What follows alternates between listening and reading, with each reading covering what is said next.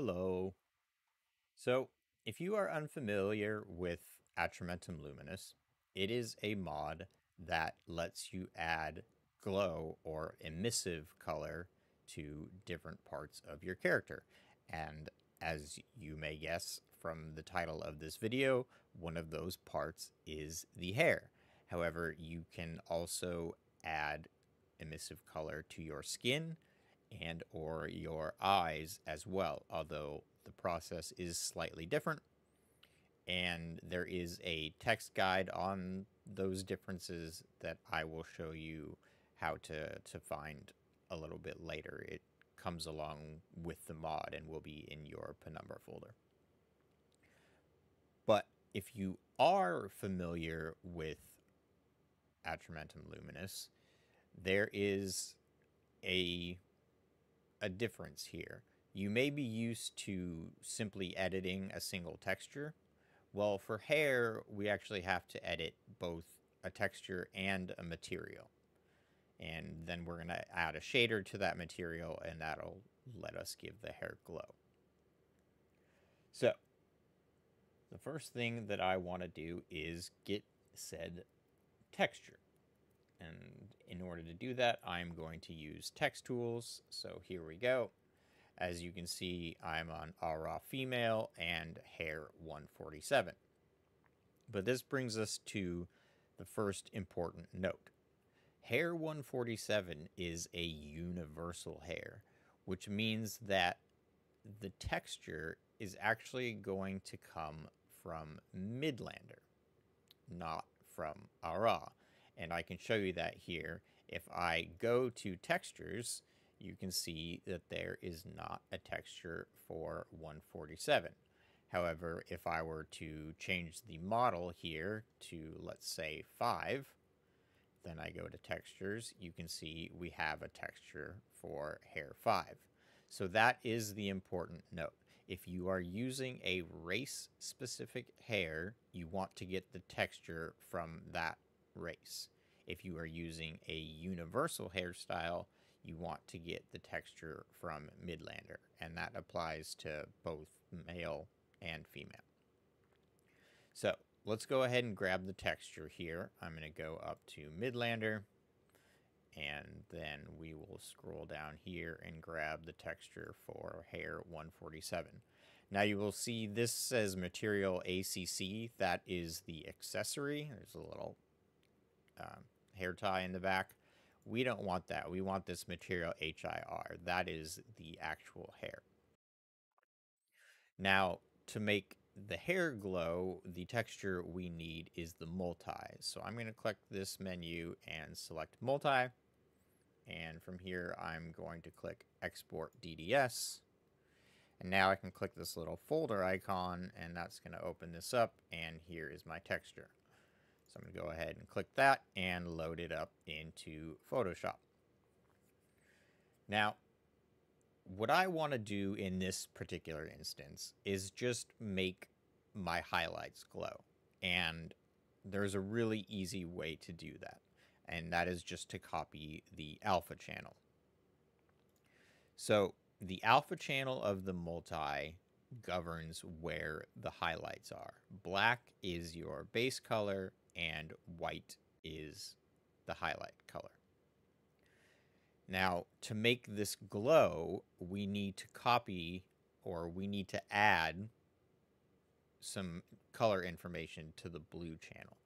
So what I'm going to do is just go ahead and select all of this, hit copy, and then go to the blue channel and then paste this in. With that said, you don't have to do things like this. You don't just have to pick the highlights. You could, let's say, invert this. So now you would have the the base color glowing and the highlights not glowing. Or you could undo this and you could draw a crazy thing like that. It's totally up to you. It's just what I want to do in this case is I want to make the highlights glow. So that's what I'm going to do. Now, again, if you are used to using Atramentum Luminis, you may find this a bit strange. the color scheme for hair is inverted from eyes and skin, where on those, black is glow.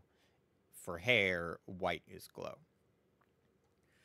Now, the next thing I want to bring up is that we can adjust the intensity of the glow by adjusting how bright this white is. Shades of gray are accepted.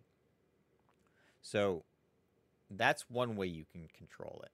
But the other way is actually in game. Since we're going to be adding a shader to this material, we can actually adjust those values.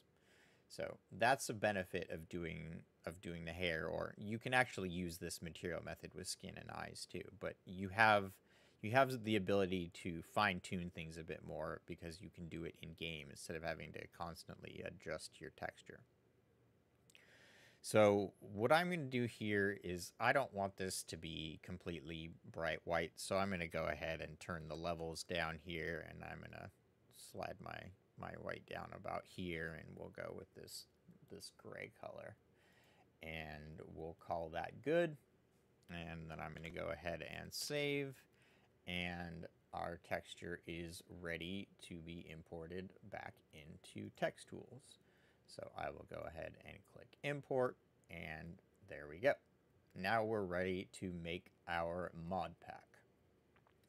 So I'm going to go to mods, create mod pack, standard mod pack. Now here is important point number two.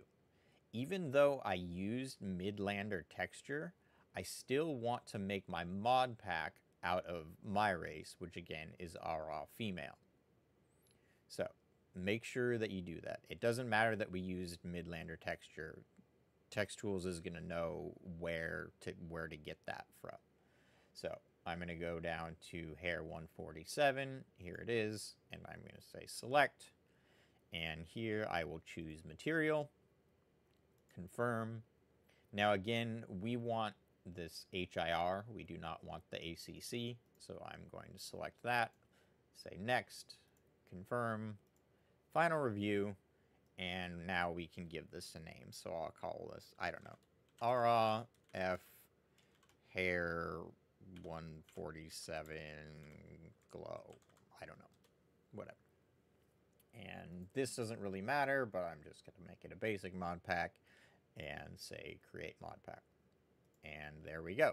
Now we can load this into the game. So we'll minimize that and open up Penumbra. Now, as you can see here, I am on the Atramentum Luminis mod. And the important part here is this hair framework. You want to have this set to textures and materials. So after we've made sure that's set correctly, we'll go ahead and load our mod pack. And I'm going to enable it.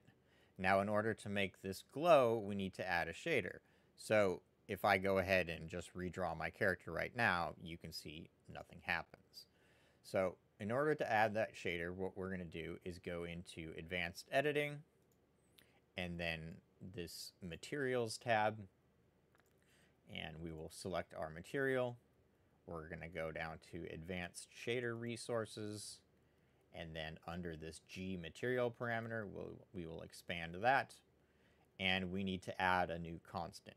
And the constant we're adding is this one right here. It's just a bunch of gibberish, but what we're looking for is this one that ends in D1. That's the important part. You can see none of these uh, none of these other ones end in D1, so that's just an easy way to identify it. So we'll select that and say add constant. Now we can expand that, and here we have the parameters that I mentioned earlier. So the legacy style of of Atramentum Luminis is to have these values set at 1. So just to demonstrate that, we'll put these at 1. Now, the top value is for glow in basically the daytime or in light areas, and the bottom value is for the glow strength in dark areas. However, they really both work you know, at at the same time. My understanding is just that one kind of has more influence whether you're in a dark area or a light area at the time. And I'll demonstrate that in a sec. But for now, we'll go ahead and set those at 1. Say save to file. And now, if I redraw, there we go. We have some glow going on. And as I said, we with this, we can actually adjust the brightness. So let's say I crank this all the way up to 5 on both of these. And I say save to file and then go ahead and redraw. There we go. Now my head is lit up like a lantern. And to demonstrate the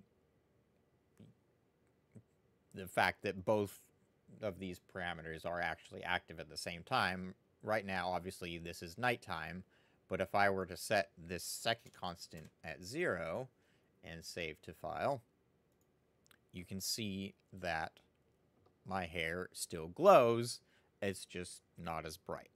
So it gives you some flexibility. You can kind of fine tune th things this way if you want to. Now, that's really it. That's that's how you do it. That's how you make your hair glow. But as I said, I do want to show you where to find the text guide so that you can uh, read about the differences and what you have to do to make your skin and or your eyes glow. So where you find that text guide is in your wherever you store your penumbra mods and it's going to be in the Atramentum Luminis folder. So we'll scroll down here till we find that. There it is. And this is what you're looking for, this authoring.md. If I click on this, and open it up. Here we go. We have our authoring manual and you can see there are different ways to do this. You can do the the legacy as it's called, which is textures only, or you can do what we did here, which is textures and material. And you can see it tells us to add that D1 constant, and then it tells us that the first value is well lit environments and the Second value is dark environments.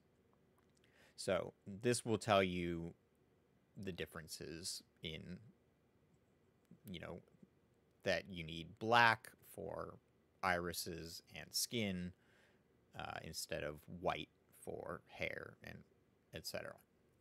So that's where you find the guide. And with that said, that takes care of it. So I hope that this was helpful and you can mess around making your hair glow and have a bit of fun.